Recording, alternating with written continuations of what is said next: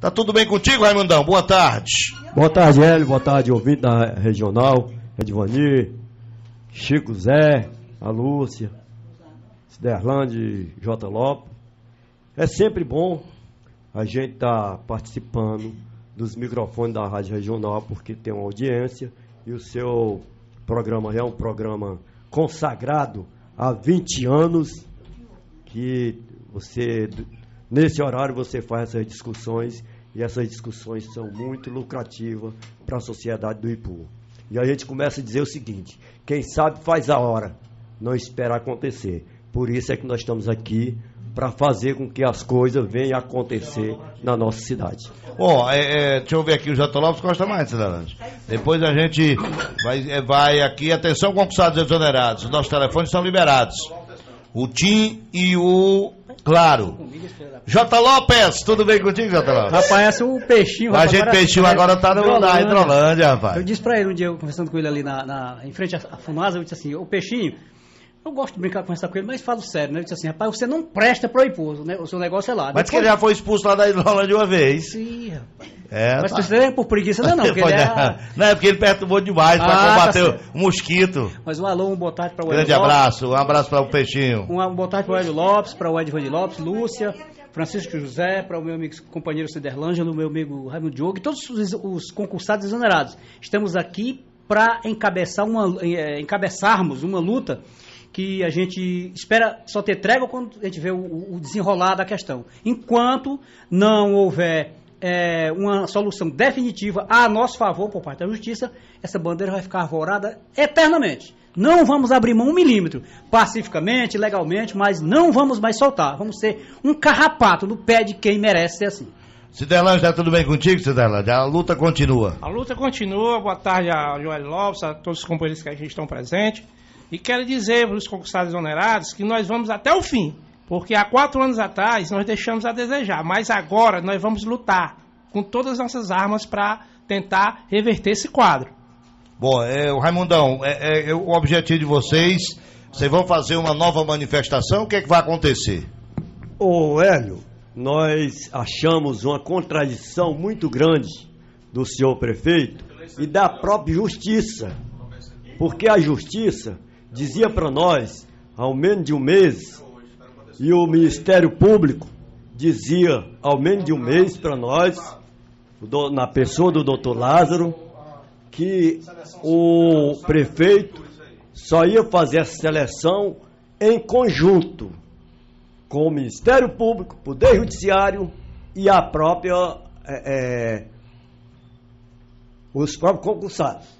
E agora, de repente, o senhor prefeito, usando das suas prerrogativas, que óbvio que ele tem essas suas prerrogativas e a gente tem que respeitar, mas ele baixou um edital é, é, ditatorial. Um edital ditatorial. Ele só, mas ele só, ele sozinho e mais sozinho. Então quer dizer que ele não tem nada para consultar a sociedade poense, inclusive os concursados. Que Constituição é que, que ele está lendo?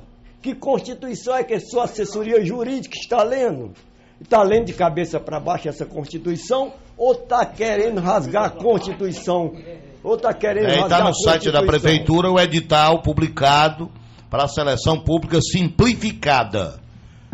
Essa seleção pública simplificada, ela nada mais, nada é do que uma é, escolha a dos dedo. partidários do prefeito. A dedo, é aquele Eu negócio vi, não, é isso aí, é uma escolha em que você faz entrevista, a entrevista você, você fala alemão? Fala não, então não serve não.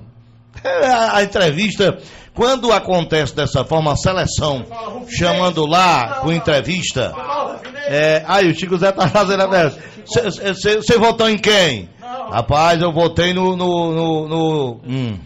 Você fala rufinês? Não, então tá fora. É. Mas, mas, aí vai ser no voto mesmo. Essa é seleção, seleção, simplificada vai ser no voto. Essa é uma, é uma vergonha. Isso, isso acontecendo e os concursados ficando de lado. É aquela, aquela política do empreguismo. O que, que acontece? O prefeito, candidato a prefeito, a reeleição, os seus vereadores candidatos às suas reeleições, vai para a rua pedir voto e dentro daquela, daquele pedido de voto, assume aquele compromisso de fazer a política do empreguismo. Que isso é uma coisa absurdo, absolutamente equivocado, sabendo que tem um concurso público em vigência. E de repente ele assume compromisso do empreguismo em campanha eleitoral. Em Guaraciaba, outro um, e aí, eu negócio queria... parecido, né? E, e, a juíza deu parecer, chamou todo mundo. Eu só, é, a lei é, é diferente daqui. É dentro dessa linha que a gente tem que mostrar para para os concursados do IPU e para o senhor prefeito que poderia até ser legal. Poderia até ser legal, mas é imoral. Mas é imoral. Então acontece o seguinte: o que, que a gente quer dizer com isso? A gente quer dizer com isso o seguinte: que nós, os concursados, não estão aleatoriamente, não são doidos, não são analfabetos e nem são cegos para não se posicionar. E nós vamos se posicionar perante esta seleção. Como é que nós vamos se posicionar? É mostrar para o senhor prefeito Volto a dizer, ele tem suas prerrogativas, mas ele não é dono da verdade. Ele não é o todo-poderoso. Então nós vamos para frente da seleção. Nós vamos para lá de Malicuia. É hoje. É a partir de amanhã. Sete horas da manhã. A gente vai estar tá lá. Ninguém vai confrontar com ninguém. Vamos botar um carro de som na rua. Vamos a gente vai pedir cobertura a quem? Alô? A quem é de direito pedir cobertura? Ao nosso Criador. Porque a justiça brasileira, a justiça brasileira, a justiça do IPU, é convivente com essa situação. É um absurdo muito grande você ter direito e não, não receber esse direito. É um absurdo muito grande o prefeito, porque usa da sua prerrogativa de prefeito, fazendo o povo bobo. Semana e quem passada, pagou por esse concurso, que aí todo mundo pagou esse concurso. Semana passada, fomos ao fórum da, aqui do Ipu, Antônio de Maria Freitas, o DAIB convidou, porque até ela, desde o tempo desse concurso, que ela nunca tinha participado dessas coisas, ela só orientava e tal, e ela fez questão de ir. Foi Antônio de Maria, foi o, o DAIB, né? DAIB, foi você? Foi, ah, eu e a, e a, e a Antônio Maria. E aí nós expusemos esses casos todos para o juiz que está substituindo o doutor Lúcio, o doutor Moisés. Ele disse que não podia fazer coisa nenhuma porque ele está apenas substituindo. E disse, olha, eu não posso ir contra o colega aqui, porque o processo foi ele, é ele que tem que, que resolver isso aqui. Se um cara matar um lá, não vai preso, não? Não, aí ele disse, o que eu, a minha, a minha, a minha o, o que é aqui para mim comigo? É as coisas urgência. É a lei Maria da Penha, essas, é, pensão, essas coisas. Ah, os processos que é, estão em andamento é. lá. E isso não é, é urgente, isso é, nosso caso não é urgente. Outra coisa. Como não é urgente? Não é considerado para justiça urgente. Aí nós dissemos, ó, oh, mas está se arrastando há 5, 6 anos, há 5 anos. Ele disse, é, mas para cá não é urgente. A outra coisa, é, a, a, ele disse que o que a gente tem que fazer, ele orientou o que a gente tinha que fazer. Olha, primeira coisa, tem que derrubar essa liminar que foi impetrada por duas pessoas, a, a mina do sindicato e aquele rapaz que é da prefeitura, né? Tem, tem que derrubar essa, essa, liminar. E a outra, tem que ir contra o decreto. O decreto é, é como, como se diz na justiça, é invado de erros. Tem erro, tem nome de pessoas que não tem, eles colocaram nome de pessoas que nem concurso, que, que nem classificado foi, eles colocaram é, funções que não tem, eles fizeram uma coisa absurda, um assassinato. Quer dizer, a, ou seja, a assessoria jurídica do prefeito, está achando que está lidando com um analfabeto. Fizeram uma coisa tão absurda que eu acho que um menino de 10 anos de idade vai ver com o negócio O decreto é assim: período de divulgação do edital de 3 a 16, período de inscrição com a entrega de ficha de inscrição e currículo padrão, conforme anexo 5 e 6, com respectivos documentos comprobatórios. É da seleção agora, né? É, 17 a 18 de janeiro. Realização de entrevistas com os candidatos a partir do dia 23 do 1. Está no microfone do FD, através do 99662726, a doutora Efigênia Mororó. Boa tarde, doutora. Boa tarde, Lopes. Boa tarde a todos os ouvintes que escutam a 1520. Boa tarde a todos os concursados, é, os 371 concursados que hoje, até hoje, lutam né, pelo pelos seus lugares, pelas suas vagas, né, adquiridas em concurso público. E isso, Hélio, já está virando um dilema. Né? Infelizmente, o gestor é, do município do Ipu vem tratando os concursados como qualquer um. Né? Isso é muito triste. Né? E aí eu volto para o judiciário a quem eu acho que simplesmente não deu valor à causa desses 371 concursados, que vem se arrastando já há mais de quatro anos, né? E você, é, você tira por cidades vizinhas, ou você abre um WhatsApp desse, você vai ver várias é, é, peças de juízes aí, né? Mostrando a, a verdade, né? Mostrando o direito de cada um. E nós vamos ver que pertinho, em Guaraciaba do Norte, é, a atual gestão colocou é, os concursados para fora. E a juíza retornou. Né? Então, Hélio, o que está faltando mesmo aqui no Ibu é que o juiz tome pé né, do processo dos concursados, que não é só nenhum, nem dois, nem três, nem quatro, nem cinco. São 371 concursados. Você poderia até perguntar, mas, é, é, você não é mais vereadora, você não é mais nada, por que, que você ainda está na defesa desta causa? Né? E eu lhe respondo, mesmo sem você fazer essa pergunta, talvez você pensasse até em fazer, e eu lhe, lhe, lhe respondo ele. É, eu tenho tido, tenho ficado do lado dos, dos servidores que foram postos para fora pelo prefeito na época, Sérgio Rufino, e eu fiquei do lado desses concursados, né? E ontem eu até postava no meu Facebook que eu não podia me calar diante de tantas arbitrariedades, né? Você vê agora, sai um edital de convocação, senhor prefeito é, solta esse edital, dando direito a várias pessoas se inscreverem para um concurso temporário. Né? Você vê, há poucos dias, é, o senhor prefeito teve na sala de, de da, da, promotoria do Itu, comandada pelo doutor Lázaro Santana, e lá ele disse que não tinha é, contratados. Né? Um absurdo. Onde você sabe, ele que são é, é, todo no PCM, onde é feita a prestação de conta das prefeituras, está lá tanto o, o, a quantidade de contratados como os valores que eles recebem. Né? Então não tem como negar. Negar, né? Não tem. E ele negou.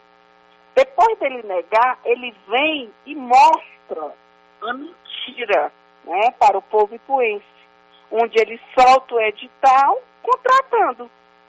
Né? Então, Hélio, isso, isso para mim é um absurdo, né? O que está faltando mesmo é o judiciário do IPU, né? É, resolver esta questão. Agora, eu vejo que os concursados não podem ficar parados. Eles têm que ir à frente do fórum, eles têm que conversar com o senhor juiz de direito, mostrar que eles fizeram a prova, que eles passaram, né? E que eles têm direito a assumir o cargo deles. Né? Hoje, você vê que nessa gestão que está se iniciando, onde o Sérgio Rufino foi eleito, eleito, continua, acho que agora mais do que nunca, as perseguições com os servidores. Né? Quem não votou nele está sofrendo grandes perseguições. Agora, o povo só tem o que merece. Não pode se calar diante dessas perseguições. Tem uma pessoa que ele botou para casa. Vá para casa que eu vou lhe transferir. O que é que eu oriento? Vocês não devem irem para casa, a não ser que recebam por escrito, dizendo para onde foram transferidos. Né? Então, o povo tem que estar consciente, ciente das suas responsabilidades.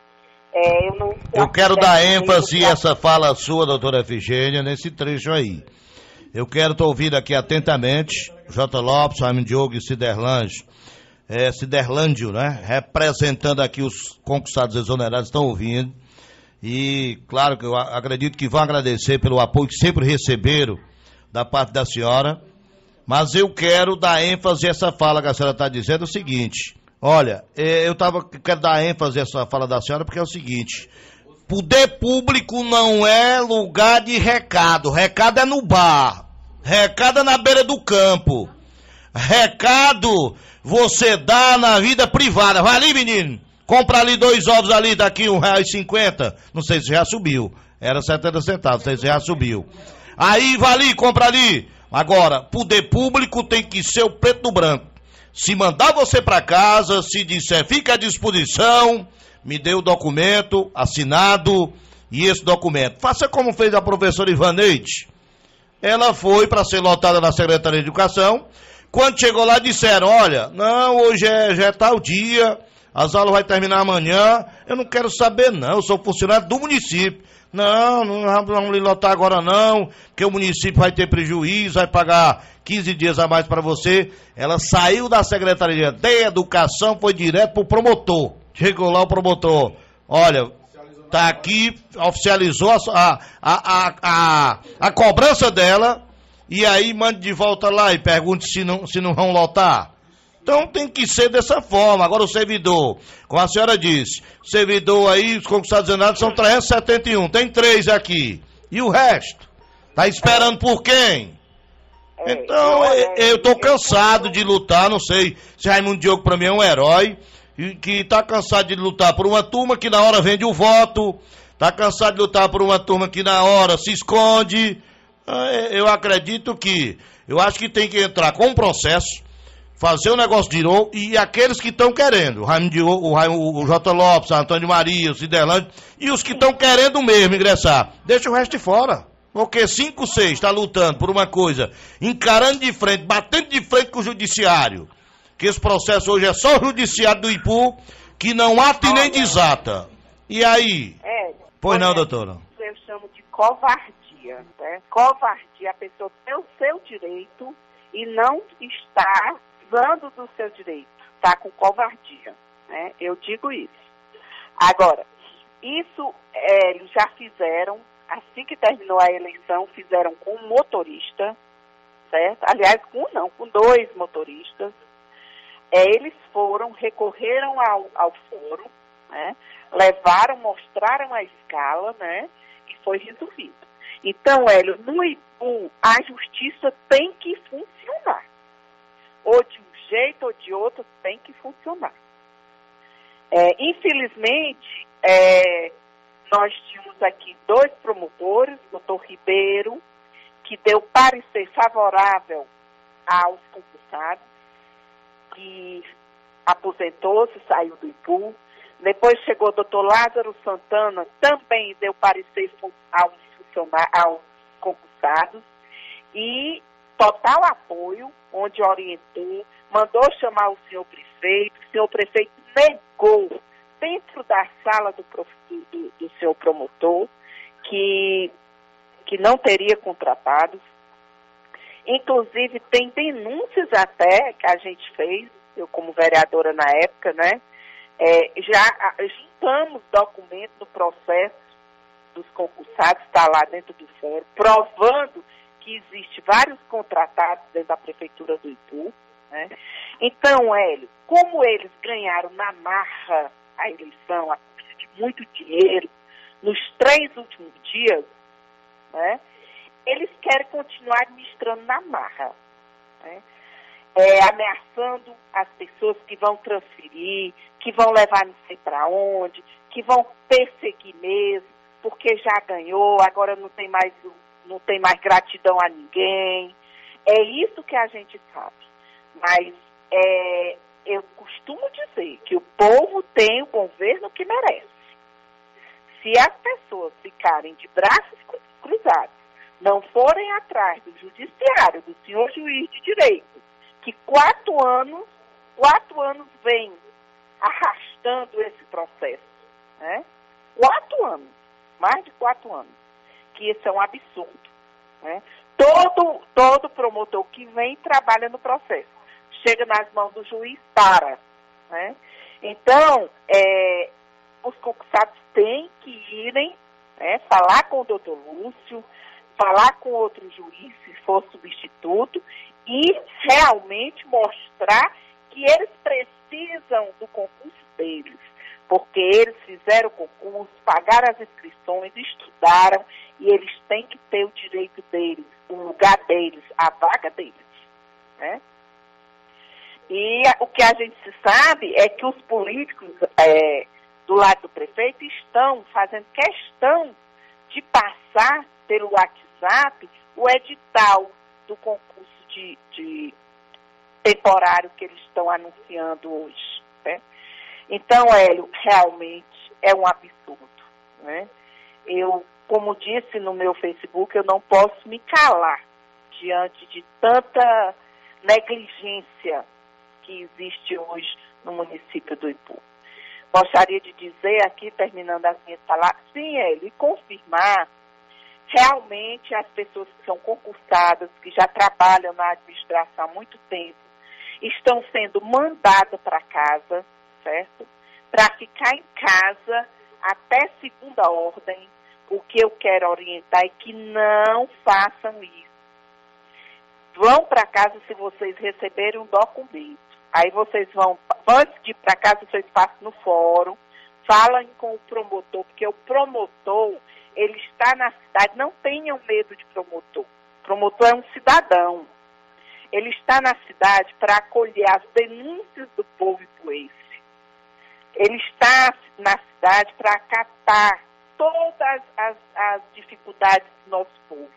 Então, antes de ir para casa, passem no promotor conversem com o promotor, mostre como estão as perseguições, né? E depois sim, vocês vão para casa com papel na mão. Agora, ir para casa sem receber nenhum papel, isso não é, não é, não é justo. Isto é irregular. Eles podem até afastar vocês do emprego por por questão de dizer que vocês abandonaram o emprego de vocês. Então, essa é uma orientação que eu dou a todos os funcionários que estão recebendo estas, estas orientações para ir para casa. Tá ótimo. Obrigado, doutor, e parabéns aí pela colaboração. Pois não, Diogo, tem alguma pergunta, alguma... Não, eu ah. não queria fazer pergunta. Eu queria deixar bem claro que eu acho que o Poder Judiciário local do Ipu, eu acredito na pessoa do seu representante hoje, que é o, o substituto do doutor Lúcio, doutor Moisés, eu acredito, porque ele não é o titular, mas ele está no lugar do titular. Então, qualquer decisão que ele tomar é independente de ser corporativista. Ele tem que tomar a decisão juridicamente, judicialmente. Independente do titular esteja ou não esteja. A mesma coisa. Doutor Lázaro saiu, mas tem o um Ministério Público. O doutor Lázaro não estava representando a pessoa dele, estava representando o Ministério Público. Acredito que a senhora promotora que se encontra deve seguir a mesma doutrina do doutor Lázaro, porque ela está representando o Ministério Público. Então, eu acho que eles estão, acredito que o Poder Judiciário, o Poder Executivo do IPU, está brincando com uma classe desesperada, com uma classe desempregada, com uma classe que está sofrendo consequências sociais muito grandes com sua família, que são trabalhador, são pessoas pai de família. Eu acho diante da conjuntura econômica e social do país, e aqui no Ipu não é diferente, que é Brasil também, eu acho que eles estão brincando com, essa com esses 371. Eu acho que o senhor prefeito está brincando e ele não sabe da potencialidade que tem esses 371 cidadãos. O poder judiciário e o poder é, do Ministério Público estão brincando. Ou toma posição para desmanchar esse nó de uma vez, ou então as consequências podem ser maior. Pode ter umas consequências posteriormente mais grave, mais séria, porque o cara é desesperado, o cara passando fome, ele é capaz de tudo.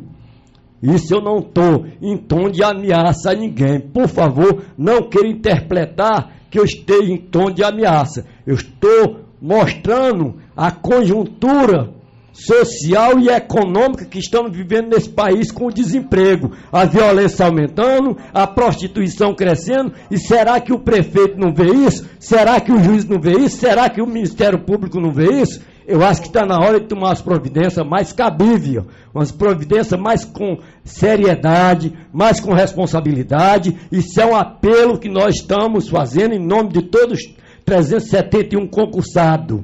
Que eles são concursados legítimo, legal, o concurso está em evidência, ele jamais pode fazer uma seleção da maneira que ele queira fazer, que ele não é dono do IPU, ele é gestor do IPU por quatro anos. Então ele não pode querer baixar um centralismo, ele não pode é, é, posicionar é, ditatorialmente, não ele tem que ter ciência que ele é um pai de família e, se ele está desfrutando as mordomias do município, os trabalhadores concursados também são pai de família. Então ele deve avaliar isso aprofundadamente. Por favor, é um apelo que eu faço ao senhor prefeito e ao Poder Público e ao Ministério Público. Doutor Lopes, tem mais alguma coisa aí para acrescentar? Não, só dizer, agradecer antecipadamente a sua aceita, a aceitação que vai você... Vai ter alguma manifestação, vai ter alguma coisa? Como é a que gente está planejando hum. alguma coisa para tudo pacífico. Ah. Amanhã em frente à secretaria, onde são feitas as lotações, ah, Amanhã. É. E outra coisa, eu gostaria de dizer o seguinte, a luta vai continuar. A luta não vai ter trégua a partir da. Já desde que a gente entrou bem para valer, nós que estamos aqui, o Cederlândio, eu e o Raimundo Diogo, e eu, todos os outros que estão em casa, que estão engajados nessa luta, não vamos abrir. Por, a, por hipótese alguma, a gente vai ter medo de, de, encarar, porque ninguém vai com violência, ninguém vai com baderna, ninguém vai com esculebação. Nós até agora marchamos dentro da legalidade. E não é a partir de agora que a gente vai sair disso para tentar sensibilizar alguém. Nós vamos, não estamos pedindo favor a ninguém. Nós não precisamos de favor, nós queremos apenas a compreensão e o cumprimento da legalidade. Porque o que está vendo aqui é uma arbitrariedade ditatorial fora do comum e uma conivência por parte das autoridades com essa, esse conjunto de coisas que está nos deixando já impacientes com isso. E a imprensa, a grande imprensa lá de Fortaleza e tal, vai ser notificada, vai ser convidada a comparecer. E quando chegar aqui, aí não, não, não imagine a repercussão disso, porque vai para tudo que é canal de televisão do Brasil. E aí, como é que fica? O Ipu uma cidade manchada, uma cidade que só aparece quando as coisas são ruins, não dão motivo para aparecer quando as coisas são boas. E nós não queremos isso, nós queremos é trabalhar, nós somos pessoas que adquirimos a nossa, o nosso é, direito, o nosso direito é adquirido, claro, redundância aí, e queremos só o cumprimento disso, nada mais do que isso. Muito obrigado, companheiro Lopes, Edivani Lopes, Chico José, Lúcia, e estamos na luta. A luta, companheiros, não vamos desistir um milímetro. Tem mais alguma coisa aí, cidadão? Acrescentar? Só quero dizer que agradecer a vocês pelo espaço e dizer que nós vamos enfrentar essa luta aí com muita fé. E vamos para frente, viu? Amanhã todos os concursados exonerados reunidos às 7 horas da manhã. 7 horas da manhã. É onde é?